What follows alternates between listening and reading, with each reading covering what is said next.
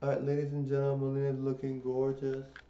Now guys, none of this video is filtered, none the, I don't use any filters, this is what I actually look like. People wonder, like, do you use special effects? Do you use, like, anything? I don't use filters, I don't use special effects, I don't use anything.